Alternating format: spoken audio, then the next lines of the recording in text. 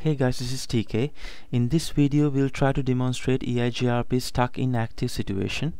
Stuck in active situation happens like this.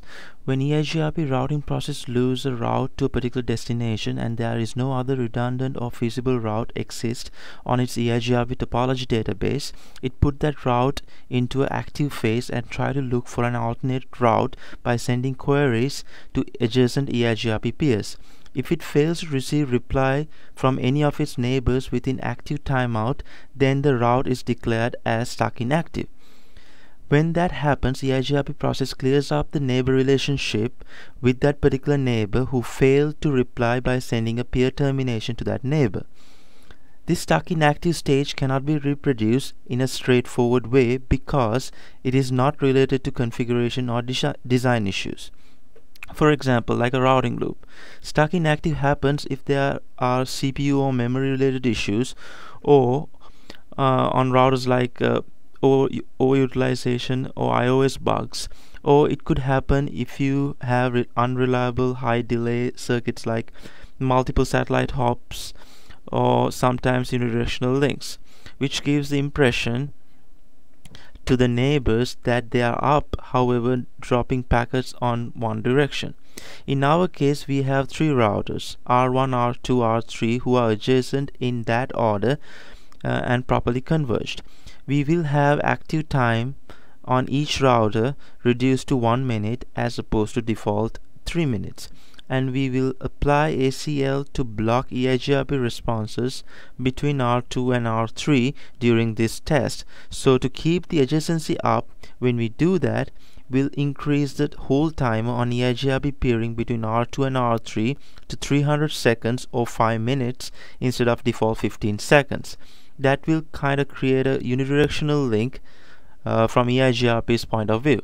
So let's check this on the command line.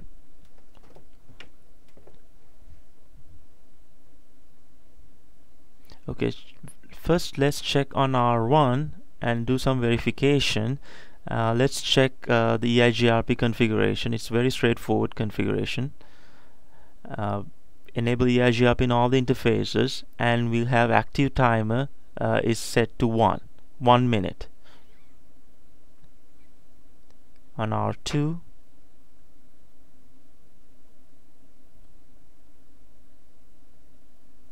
same thing. Active time is set to one minute. And also the the the hold time between R2 and R3 set to uh, uh, 300 seconds which is 5 minutes.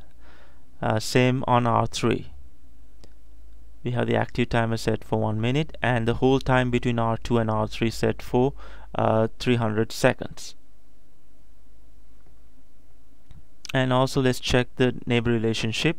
R1 is adjacent with R2 R2 is adjacent with R1 and R2 R3 and R3 is adjacent with R2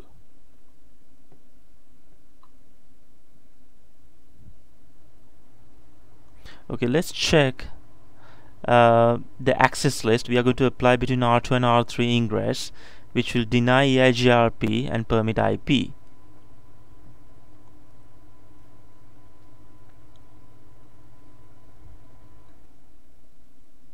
okay so let's go ahead and first let's apply this access list into the interface between R3 and R2 R2 and R3 I'm sorry and and in, in the ingress direction on R2 and let's uh, also debug uh, EIGRP packets and on R1 let's shut down loopback 0 let's enable uh, logging console debugging on R2 so we can see what's going on. And uh, before I shut down loopback 0 let me show you that network which is 1.1.1.0 and let's shut down that uh, network. So let's let this debug to scroll up a little bit and let's stop it. Right on debug all and then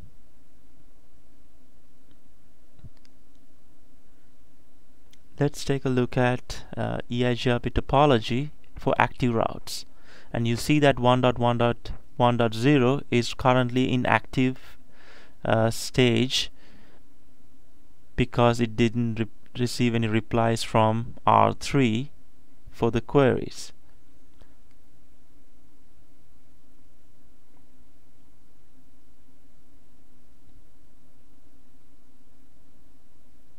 And after exactly one minute we should see that the route is going for stuck in active which we are and also you see that uh, it went to stuck, uh, stuck in active uh, and also the neighbor uh, peer termination for R3 is sent.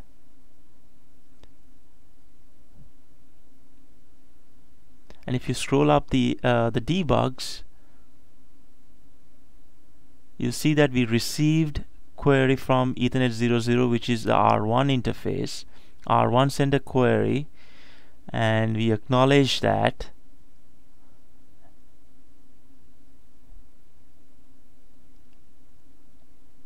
And then we are queuing queries to R3 and then we are sending the query to R3 on Ethernet 01 and we are not receiving anything we are just sending and finally the end result is that be putting that route into uh, stuck in active.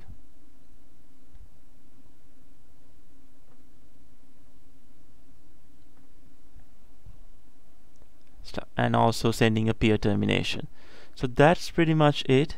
Thank you very much